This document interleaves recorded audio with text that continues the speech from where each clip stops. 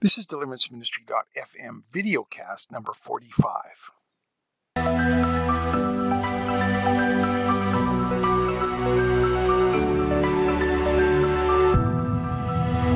Hello again, everybody. Welcome to another episode of DeliveranceMinistry.fm, where we give you proven insights about the demonic realm and deliverance ministry with some Christian counseling things thrown in as well, Woohoo. so you can wage spiritual warfare more effectively. That woohoo that you heard comes from my ever present colleague and friend here and uh, podcast partner, Dr. Phyllis Tarbox. Hey, Good to have you here, and uh, we are happy to continue on in our ongoing series of topics that we come up with, um, sometimes on our own, sometimes in response to inputs. That uh, just to try to train and teach people and uh, give you our perspective on on things in the realm of, of the demonic realm, spiritual warfare, and deliverance ministry. So today I'm going to um, address a topic that's kind of in the it's a very biblical topic. It's in Bible, you know, certainly the New Testament talks a lot about this, but it really has implications for uh, spiritual warfare and preparation for deliverance, and that's this notion of forgiveness. We've talked about forgiveness before and the importance of it in terms of closing the door from demonic torment. But we're going to look at a scripture and, and talk on a little more depth today on this notion of forgiveness from the heart. Right. What does that mean? And the reason we're going to talk about it because I really believe it has real uh, significant uh, implications for how well we can walk and, and continue on our journey with the Lord. If we understand forgiveness well, if we know what that looks like. And so we're just going to try to add to your understanding today about that, about what it means forgiveness from the heart. Because as we'll see in one of the scriptures, Jesus really makes a point about this whole notion Oh, of yeah. forgiveness. So, um, as I say, we touched on this in other topics. We talked about the importance of forgiveness for in terms of getting ready for deliverance and taking the, away the spirit's legal rights to torment us. But uh, let, us begin right from the get go. Phyllis, just have you go over this. Um, how? What do we teach? What do we share with people? What's our view on forgiveness? What What is I mean to forgive, and what what is that? Well, we we we discussed it that it, it's it's a it's a choice that you make to release the debts of whatever it is that person has done to you, where you where you just drop it, and it, it isn't based on your emotions. It's based on your free will because you want to close that door. You want to be free, and frankly, it's quite selfish. So it doesn't really have much to do with the other person. It has everything to do with you, of course. It's for your benefit. It's for your benefit. When you forgive, you're forgiven. And if you don't forgive, you're not forgiven. So, you know, we, we want to make it really clear as we go through this that you can't rely on emotions as the basis for that because why? They're in your soulish realm, and that's where the enemy is going to try to torment you, and he's going to try to manipulate those emotions. In fact, if you've ever stopped and you've listened to how the enemy will use your emotions against you, you're going to quickly be able to discern that that he'll use things like self-pity and he'll say things to you immediately like that's not fair, I shouldn't have been treated that way, and we'll ascribe to the fact that that's probably pretty correct. You shouldn't have been treated many of the ways you've been treated, but the minute you allow that self-pity to come on you, I believe that's where, you know, that's where the enemy starts to get that inroad because self-pity will glue all the other spirits right to you with bitterness and resentment and anger that that that come in with an open door of unforgiveness. So that's that's that's my take on it. Is that good? And I think that's good. I Yeah. we because and, and we focus uh, you know, as a as a I guess as a society. There's a lot huge focus today on on emotions, right? You just Mm. If you do this, you'll be happy. If you buy this, we want you know in a Entitled life entitled life, liberty, and the pursuit of happiness. And look at it, you know we get we get focused on the emotions and we lose. Uh, you know, is that rather the, the be all and the end all? But I think you know that we teach and we would understand that our emotions generally is a result of, of what we're thinking, right? Right. And, and it starts with the thought life, and we'll, and, and I think we'll, we'll come back to that. Yeah, but but but the notion is that yes, our emotions we can't uh, we can't trust them. No.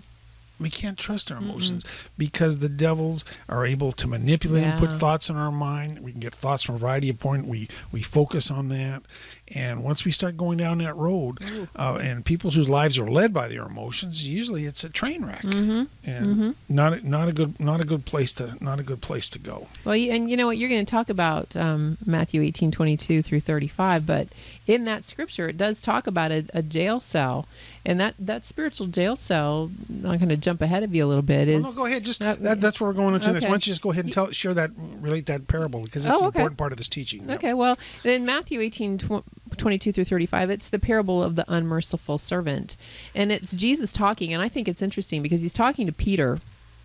And you know, Peter never got it right. He was always he was always having to be corrected one way or another. So when Jesus asked him, "How many times do you think you should forgive?" and he threw out the number 7, it's always kind of made me wonder where he came up with that number. Now, Hebraically, 7 means perfection and completion, but it was very far from Jewish law back in the day. Jewish law was 3 times and then they ripped the sleeve and they were done with you. My Jewish friends tell me 3 times and you're out, right? So Jesus saw the look on his face when he said, "No, you know, you have to forgive 70 times 7." I'm sure Peter had this perplexed look on his face, and that's where my pastor says that's where when the boys had that look, Jesus would go into a parable because he called the parables milk to help them understand. And he and he and he went about it and I'm going to paraphrase it greatly, but it's all in red in the Bible and it's Jesus speaking and he said my father was like the king of a kingdom and he had all of these uh, servants that owed him vast sums of money, and there was one that, let's say, owed him the most. And for the purposes of today, let's just say that was like thirty-nine trillion dollars. I have to keep up in that money dollar thing with all these Yeah, that's almost real money. these big dollars that are being thrown around with our budget anymore. So anyway, 39 trillion. Let's just say that's an unpayable debt because I don't know how to get much higher than that. And he told this man, he said, it's due. That money is due. And of course, we know in the scripture, the servant looked at the king and said, I don't have it. Please forgive me. And the king basically said to him, Well, if you don't have it, I'm going to have to liquidate you. And in today's times, that would be I'm going to have to take your 401k, your houses, your cars, your kids, everything you own, and throw you into debtor's prison, liquidate you down completely. And the balance that is due, if you don't have it, then you're going off to beggar's prison, which never made much sense to me, but that's where they would send him if they didn't have the money. So he went off to beggar's prison, and, and, and of course the king and he started to beg, please, please, please, please, please forgive me. And the king said, hmm. And he pondered it for a minute, and he goes, you know what? I'm going to let you go. So he let this this man go, and you know, if you can think about it, I mean, I was explaining it to a. a a little uh, boy last week. I said it would be like if you if your mother said that you could have the guitar at the beginning of summer and all you had to do was save your allowance up all summer long. And at the end of summer I was going to collect that allowance. And at the end of summer came and you didn't have it. And she said now I'm not only taking the guitar but I'm also going to take and put you on house arrest for the whole school year. And this kid was mortified at my office. And I said and then all of a sudden she changed her mind and said no I'll let you have the guitar and you can do whatever you want he said, Well, I'd be full of joy. And I said, Well, just like this guy in scripture, he ran outside, was so happy and so excited until he saw somebody that owed him some money. And he went over and he hung the guy, basically. The guy didn't have the money. He begged and he asked for forgiveness, and this man had no grace for him, and he had him hauled right off to beggar's prison. And there was enough people in the courtroom that had seen this was the man that got free the big debt. So they whined to the king. The king brought him back in. And this is where I think it gets interesting as far as deliverance ministry goes, because in the King James Version, it says the king called him a wicked servant. And he said to him, Shouldn't you have forgiven your fellow man just as I forgave you? And with that, the king delivered him to the torturers. That king's a picture, of course, of God, the Father with us, right. Mm-hmm. Right. That's what that Jesus is telling that parable. Right. And then, then he looked at Jesus, and then Jesus looked straight at Peter and said, This is how my heavenly Father will treat each one of you unless you forgive with your whole heart. That's the phrase that we're familiar with, and it's a well-known parable, and, and uh, you shared it very eloquently, very different, you know, kind of modern day spin on it, and uh, people understand that parable. They've heard it, and it's talked about and preached in churches about how we need to forgive people and how we're forgiven in great debt. And then they look at that scripture where Jesus says, "You must forgive your brother from your heart." Now, the reality is, I think uh, most times, in, for certainly it's true, and I think in the church and certainly in the world, when people hear the word heart, they think right away of their emotions. Yep. My heart, you know, I was saying, my heart is broken. You broke my hmm. heart. It doesn't mean, well, you broke my thoughts, you broke my mind. It's like, no, I'm shattered emotionally. Somebody's heart is broken. They're, mm-hmm. It's emotions. It speaks to their mm-hmm. emotions. And we typically point and put our hand on that, right over that organ in the middle of our body Yeah. that pumps blood, right? Yeah. That's what we think about with the heart. And Yeah. somehow we ascribe all sorts of um, characteristics to the heart. I mean, that I think just aren't there biblically. I mean, a heart is is essential. Praise God, we have one. Mm-hmm. It pumps the blood, and but you know, to get a real, I think the most accurate sense of what Jesus was talking about, you know, we go back to the we go to the scriptures, and we're and if you look at the word heart in from the Greek, the original text, it's the Greek word. It's kardia, K A R D I A. Now you can you can take a little stretch there and say, well, over years that becomes cardio or cardia and heart. Okay, that's where it comes from. The Strong's number twenty five eighty eight. For those of you who out there who are keeping score on these kind of things, you can look it up on your own. Now here's the thing, and here's what I want to read. When the word kardia basically means, and more or less quoting here, it says the affective, A F F E C T I V E, the affective center of our being and the capacity of moral preference. And then quotes, volitional desire and choice. Mm, that's good. That's what kardia means. So what that says is and and we're you know we're quite happy to say this this supports the scripture supports what we teach on deliverance. That deliverance is not based on how you feel. It's a choice. It's a choice. it is a choice. And so that's the most important things. We get hung up on the heart part and say well maybe i don't feel. And we get people you know we've had people in here for counseling and I, we have and people go round and Oh, round. yeah. i've forgiven i've tried to but i still feel when Mm-hmm. see them or i hear their name. I'm, I'm upset or i'm angry. Mm-hmm. and then they then it's kind of like being on that roller coaster they make the full circle. Well gosh if i'm still hurt upset or angry maybe i haven't forgiven that Right. person and they go round and round. and, Right. you know, and the devils will chase you. They'll Oh, push you on that roller coaster as long as you want to go. It's like that hamster treadmill. Never stops. exactly. It, it will never stop. At some point, you got to say, no, I'm getting off. Yeah. I'm getting off this roller coaster. And I think if you get a hold of this scripture, what Jesus was talking about, you can get off Mm-hmm. because it says the it's the, the, the, the capacity of moral preference, Mm-hmm. volitional desire, or choice. So the question is, are you willing to make a choice to forgive somebody? Mm-hmm. And if you are, like when you do it, it's done. And you did mention Peter talking to Jesus, and or Jesus really talking to Peter, and says you must, you know, forgive your brother seven times or no, seventy times seven, which basically is walking in forgiveness, and that has a whole realm of things too about having proper boundaries. And yes, we can forgive somebody, but we don't keep letting them throw us under the bus. Right. But the, the the notion is, it all comes back to however you get there. Is that you know we get off the roller coaster by saying forgiveness is a choice. When we do it, it's done. And for mm-hmm. people in our past that aren't part of our life, that's something okay. We just need to accept that. When we do it, it's done. And mm-hmm. then being able to take those thoughts captive quickly mm-hmm. Dealing with them with the um, and and getting things on the things of God so our emotions will fall in line with what we're thinking obviously that's important and I think that's what it comes down to after we capture those thoughts we got to think the right thoughts Right. and Paul has a great scripture in Philippians 4 8 and he, he makes it very clear about what we're supposed to be thinking of. He says, Finally, brothers and sisters, whatever is true, whatever is noble, whatever is right, whatever is pure, whatever is lovely, whatever is admirable, if anything is excellent or praiseworthy, think about these things. Mm-hmm. Right? Mm-hmm. And then he talks about and tied in within Second Corinthians ten five, we need to take every thought captive Right. to the obedience of Christ. So that's what forgiveness can do for us. We choose to do it, it's done.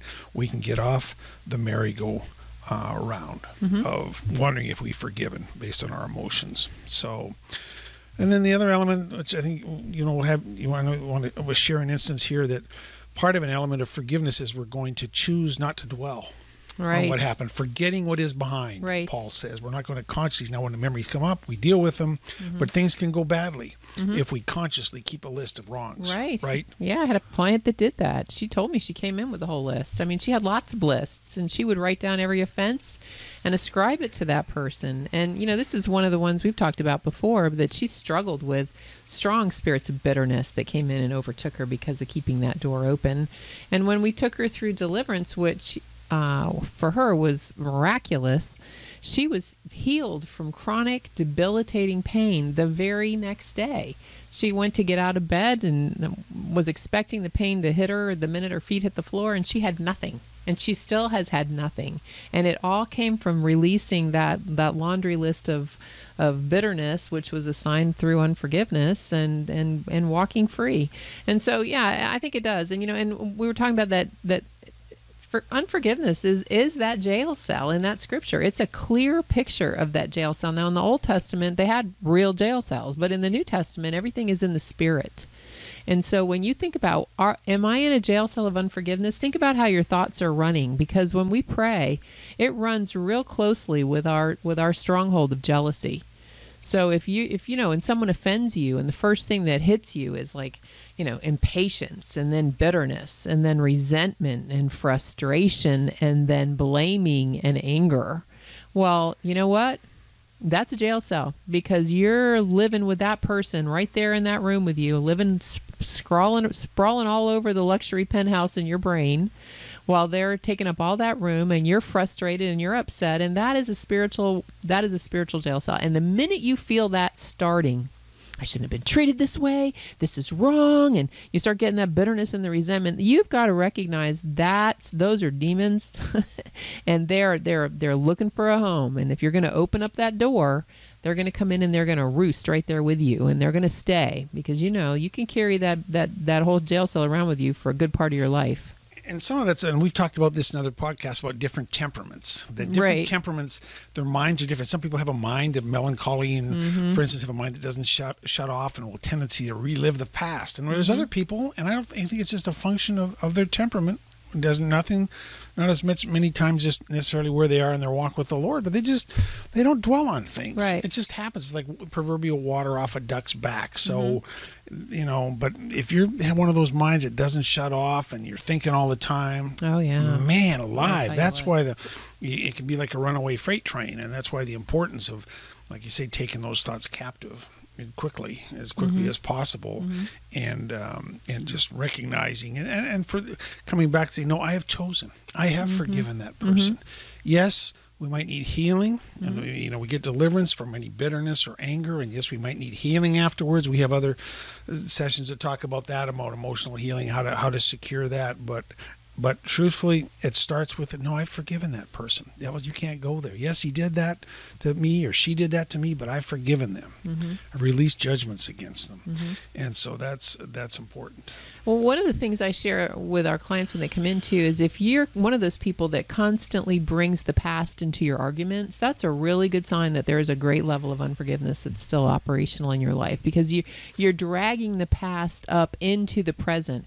And when you do that, you give the enemy a legal right to come in and just stomp right into your living room. So even though you're, you're trying to get out from underneath it, you're trying to make progress. When you drag the past up, you drag up a lot of demons with it, and that they come and sit right there with your living in the living room with you. So you have to be really careful about that. And and you mentioned different temperaments, I think too, because a lot of a lot of temperaments are like you said are very forgiving. And they don't have a problem. They can release anybody, everything. And they but you know what? Those temperaments, they struggle with self unforgiveness. They are constantly self condemning, self belittling. You know, they've got spirits that come in and try to bring that in. So I think, you know, it's it, and sometimes that's the hardest person to forgive, yeah. right? People struggle with that. Well, I can forgive others, but man, I can't forgive myself. And it's like you're you're putting yourself in the same jail cell. Mm-hmm. Well, I remember that. I think that was the big lesson that the Lord taught me when I went through deliverance the first time. I, I wrote the names down on my forgiveness sheet, like teeny weeny tiny, like six point font, because I didn't want to have a novel of people that I had to forgive when I got ready to destroy my homework. So I laid it all out on the gas grill. I had pages and pages, probably hundreds of names, and I, I lit it all on fire, and and everything burned except for one name and the whole group. And I talk about this a lot with my clients, but the only name that didn't burn was mine and I thought that was like a huge, huge. It just sat there on that one rung on the gas grill. All everything else burnt all the way around it. This little tiny half an inch name, which was mine, and that ministered to me because I'm somebody that can forgive, but because of what I did as a believer, uh, and how how I used to roll in corporate America, I, I was mortified when I woke up with the Holy Spirit, and and if I'd have stayed under that place of self condemnation, I would have been worthy of no good ministry later on in life or anything the Lord wanted me to do. And you know, we've we've had to take whole pastoral groups through that before we even pray deliverance. You know, I remember one release to source seminar, we had mostly pastors and teachers that had come in to check us out when we first started. And the Holy Spirit had me stop and take them through a proclamation of self forgiveness before we even went. And there wasn't a dry eye in that place because they were all thinking about all the lost sheep and who they didn't get to and how they'd blown the. And you know, the the, the un, self unforgiveness is is uh, is a pretty high stack. So. You know, it says in Romans 8 1, there is no condemnation in Jesus Christ. So that condemnation needs to stop for others and needs to stop for self. It does, and the and the starting point is understanding. I believe this what the biblical teaching is on forgiveness, and coming back to the point. It is I choose to forgive it. Yes. And when I do it, it's done. It's done. I don't need to do it every day. I don't need to wake up. I don't need, you know, I don't believe, oh, I need God's help to forgive. I see, it's like, God's laid it out there pretty clearly. You either forgive or you don't. If you choose to forgive when you do it, it's done. And you just got to keep reminding yourself and the demonic realm when they mm-hmm. try to come back, no, I have done that. And yes, we purpose to take thoughts captive we're going to proactively choose to think whatever is true, noble, right, pure, lovely, or admirable. Think on the positive things, mm-hmm. declare those things. It's not just feel good, you know, pop psychology. It's a biblical mandate, mm-hmm. it, and it's a reason for it. We mm-hmm. get our thoughts in line and think on the positive things and things of God, then our emotions come in behind that. And so, mm-hmm. I guess that's the thing I'd like to leave, you know, the listeners with on this is, gosh, you know yes, forgiveness is vital, it's important, but forgiveness in the heart has nothing to do with your emotions. It right. really doesn't. If we can't get off, you know, you got to get off of that dime and say, no, I've forgiven. I've choose to, chose to forgive them. And like I say, we might, we might, that, that can be a precursor and to, to going through deliverance, yeah. and then we might need healing. Yeah. You know, mm-hmm. afterwards it's like okay, but it's like no, I've done it, and we walk in forgiveness, like right. we talked about with people, and and maybe needing proper boundaries to help maintain that. But it's mm-hmm. like no, um, we do it, it's done, and at that point you're off that you're off that merry-go-round. Yeah, yeah, and you can move ahead. Yep. Now the one thing too, I just wanted to mention before we leave is forgiveness in and of itself does not mean that the demons associated with that offense are just necessarily going to leave. And and and if you're if you are in a battle where you're saying, I've tried this, I've tried this, but I've just still, you know, then then you need to forgive and then you need to come in for deliverance to get the demons that were associated with that trauma or that offense or whatever happened removed because they're there. They're not just going to leave. That's an important point. Mm-hmm. They don't necessarily automatically leave. No. Sometimes they need to get kicked out. Mm-hmm. And uh, yeah, that's such an important point. They just think that that's well, I've done. I've forgiven them. Why do I still feel that? Well, maybe you still have those spirits of yeah, anger, those, spirits those bitterness are, yeah. there. Maybe there's still, but I forgive. Well, okay, maybe you have, you know. Right, but forgiveness maybe you is release, deliverance. right, maybe you maybe you need maybe well, you're still talking about it. Maybe you're judging them still. Yeah, maybe yeah. well, I, am talking badly, but well, then you're judging them. Well, mm-hmm. that's another opener. Oh, that will keep you in. We could bondage. do a whole podcast on judgment. Yeah, sure. so there's there's all. Well, that's such a good point. Yeah, it's just you know, deliverance is obviously part of the ministry, present day ministry of, of Christ. He gave it to the church, and so uh, I think I think that's such that's such an important point you make. Well, good. We hope this was helpful to you. It's uh, maybe changing your view and and giving you a different insight on forgiveness and give yourself grace to kind of walk this out mm-hmm. because if you've been used to living out of your emotions and doing everything based on that, you know, it's it may take a while to. Yeah to, to get you know walking firmly on this new path but but just give it a go. Um, uh, you know just do that and just see what how God will honor that.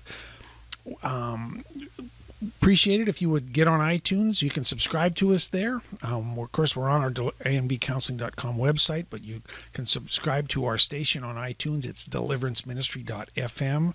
All the podcasts are there.